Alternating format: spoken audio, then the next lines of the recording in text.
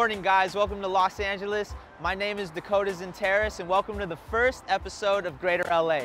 We're going to all the ethnic neighborhoods in Los Angeles, picking a restaurant, and then showing off their cuisine and culture in reference to everyday life in Los Angeles. So our first episode is gonna be in a little block called Little Ethiopia in Miracle Mile. There's a ton of Ethiopian restaurants on this small block, south of Olympic Boulevard, north of Whitworth, on Fairfax Avenue. Fairfax Avenue, especially on this particular stretch, is one of the most heavily trafficked blocks in all of Los Angeles. The majority of folks don't actually just park their car and come get a bite to eat over here. So we're here to show you that the food is more than gourmet. It's extremely healthy. It's got vegetarian options, vegan options, gluten-free options for everyone. All of those Angelinos on those diet fads. It's got everything you could possibly need. And the most important thing, the food is amazing. So we're going to Lalibela today and we're gonna be immersing ourselves in the culture for a short time and see what we can learn. All right, let's go.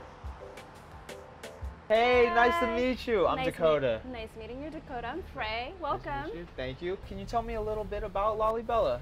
Lalibela is a town in Ethiopia. It's Okay. named after King Lalibela. Yeah. And the chef, who happens to be my mother, is also from there. So we named the restaurant Lalibela Wow. after her and her family. Oh, that's amazing. Mhm. Yeah. Come on in. We have All a right. lot for you. Thanks. ነው አላውቅም ነበር። በጣም ጥሩ ኑሮ ነበረ። ሳይለፋ ቁጭ ተብሎ የምበላ ነበር የመሰለኝ ስመጣ ከኢትዮጵያ። ምክንያቱም ከኛ ሀገር ቁጭ ተብሎ ነው ስራ የሚሰራ ምን ተብሎ ነው። እዚህ ሀገር ግን እንኳን ኩክ የሚያደርገው ዶክተሩ፣ ማንኛውም የተማረ ኤቭሪባዲ ቁሞ ነው የሚሰራው። ስትሮንግ ነው ስራው። So come on in. Woo. We have some spice and herbs ready for you guys to see. All right. Um, this is called berbere. This is literally where the magic starts for Really? every cooking. Yeah. What makes and breaks is this Yeah. and butter.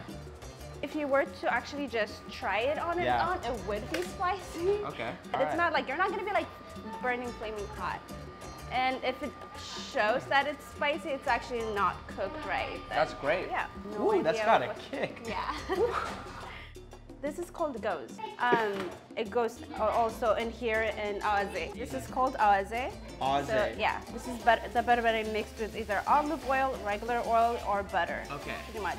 And this it's is like the a glaze of sorts. Oh, this is the foundation to a lot of the dish that we make as well. And this is called tef. Tef. Yes. This Key is- ingredient for injera. and this is what injera is.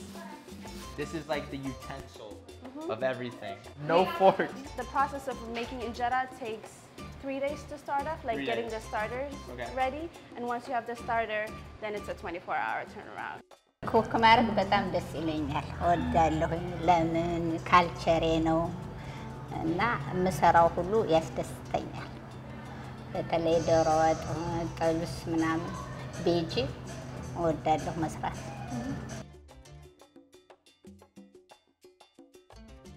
So right. we have our veggie Ethiopia, which is a combination of different vegan slash vegetarian dishes. Um, on top of the moso, by the way. So traditionally, all we, we serve food on top of this mosa and have it covered. It's almost like a way of like preserving food until everybody's around the table. Uh, so you've got green whole lentil, collard greens, lettuce, yellow split peas, chickpea flour made into what's known as shiro, green beans with carrots, chickpea dumpling, it's called shimbrasa, and then you've got potato and carrots, and these are the salads, by the way. You've got, Cool. of course, the lettuce. This is uh, sunflower seed milk with the flatbread, and then you've got uh, tomato juice with the flatbread, cabbage and carrots, and red lentil. And just to let you know, if it, something is like yellowish or greenish, Yeah. that means it's not that spicy. The darker the red, the spicier the food, pretty much. Mhm. Cool. Yeah, I can't wait. I'm so hungry. Let's go for it. Ooh. Great. So you've got your veggie, of course, meat. Zilzil tips. Kitfo. This is beef tartare. Nice. Mostly served with collard greens and cottage cheese. Also really rich. And then, of course, you have the doro wat. This is the mother of all Ethiopian food. this is the one that takes three days to make, including you know the cleaning process and whatnot. Wow. And then you have your egg, which complements the sauce really well. If you find anyone or a woman that knows how to cook Doro wat, you wife her.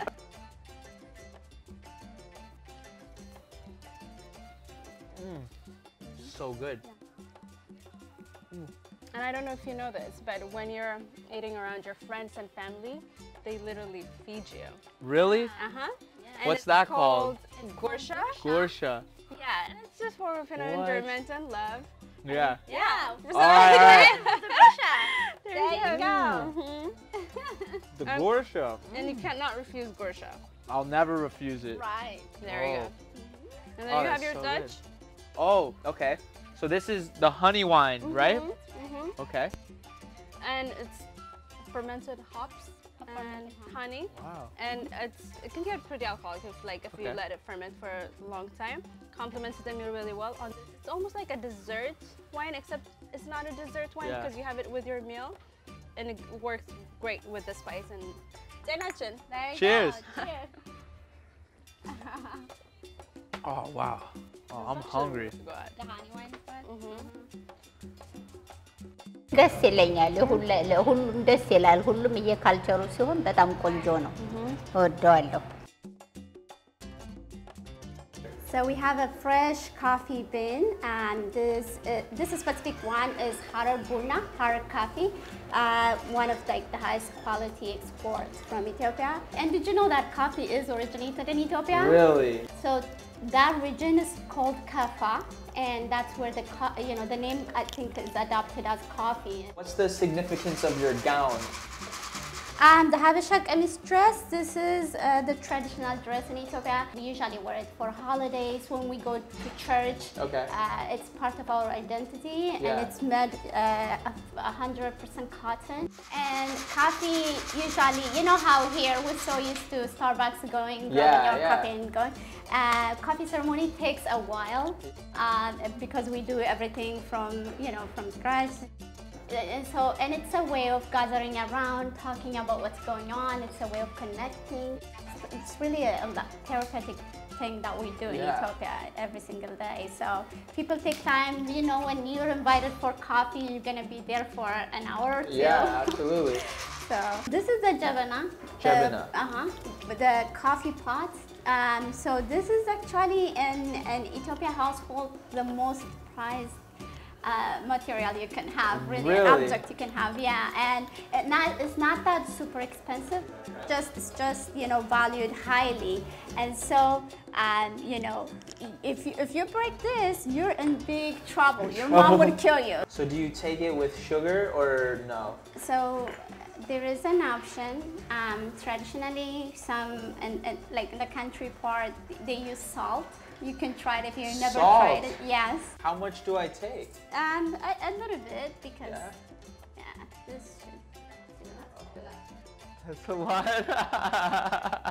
Just don't, don't stare with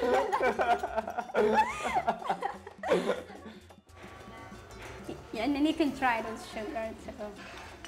Yep, you could taste the salt for sure. That's good though. It's very robust.